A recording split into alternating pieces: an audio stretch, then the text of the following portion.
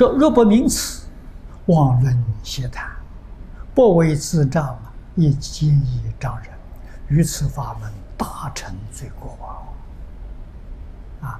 你要不深入经藏，对这个法门透彻了解，你去批评他，啊，你去谈论他，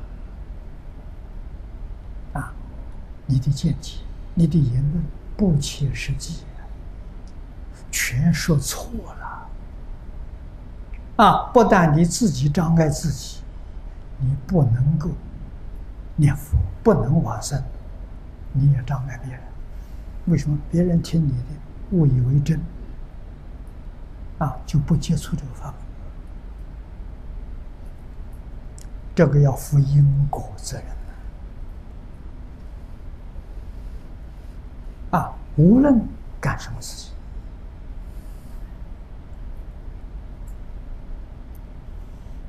你要批评，或者是你赞叹，一定要把它真相搞清楚、搞明白，你才有资格开口。如果没有搞清楚、没有搞明白，那就是古人所说的“开口便错，动念皆怪”，你全盘错了。我在初学佛的时候，碰到一桩事情。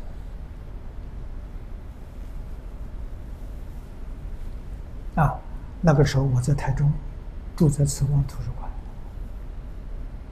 有一天早晨，啊，有个客人来，因为越南时来看书的，啊，看报纸杂志的很多。啊，有一个是基督教徒，他这个教堂距离我们图书馆不远，走路大概五分钟。啊，到我这来了，看到我口音安徽人，他是安徽人，有老乡，啊，基督教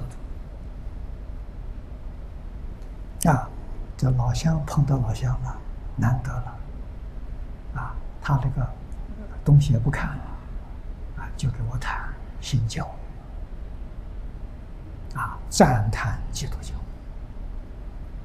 啊，上帝爱人，批评佛教，把佛教批评的一文不值，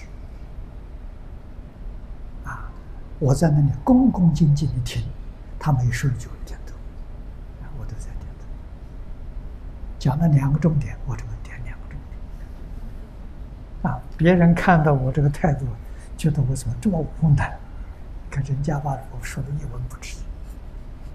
啊，两个重点，快到吃午饭，我泡了一杯茶供养他。哎，我就向他请教。我说，我们要批评一篇文章，是不是先要把文章看看，然后再批？那当然的。我说你批评佛教，我很赞成。你能把佛教批驳的倒了，你救了多少人啊？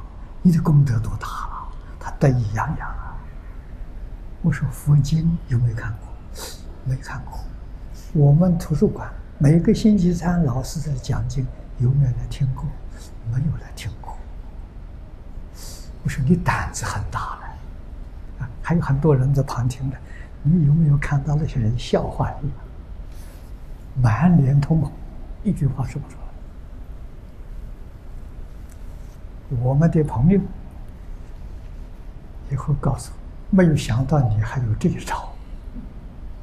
我说我看他，他真的一窍不通，在胡说八道，让他发发足了，再打他一棒，会把他打醒。他没有发足，别痛苦的，让他发。所以他一直讲，我就一直点头。啊，所以这个人还算不错。第二天，带他这个教堂的神父来看我，啊，态度就不一样，很有礼貌了。啊，所以就怕胡说八道啊，强不知以为知，现在社会上这样的人太多太多了。啊，我们这一生不敢这样干法了。小时候要这样说话的时候，老人就要骂你，责备你了，处罚你了。啊，所以我跟宗教往来，我一定先去读他们的经典。啊，我对他有认识，对他了解，啊，我们才接触。啊，接触大家欢喜，我懂得你的，我不外行啊。啊，我在新加坡讲过《古兰经》，讲过《玫瑰经》。玫瑰经是天主教的早晚课，我那套玫瑰经的光碟现在在天主教很流行，啊，很多人在听。啊，我到北京去，我还把这个东西送给傅铁山，傅天山跟我是老朋友，非常投缘。啊，啊，所以是。中国古人说：“知己知彼，百战百胜啊！知己不知人，不能讲话了；知人不知己，也不能讲话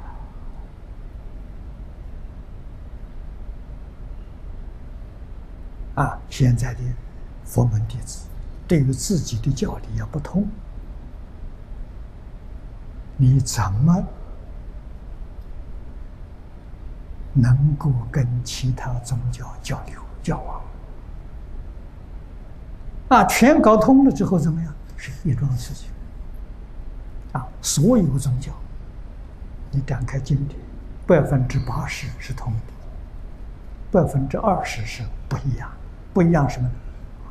生活方式不一样，文化背景不一样，居住环境不一样，那造成。啊，宗教里头方向目标。决定是一致，啊，总的只一个字，爱，爱是所有宗教的核心思想，他怎么不能团结？当然可能了。这是有掌握这个中这个中心的。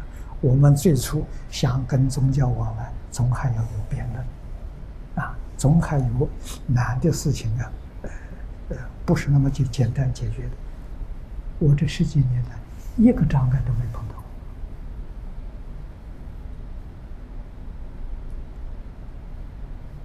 到，啊，确实，不同的文化、不同的这个这个宗教、不同的族群，同一个根，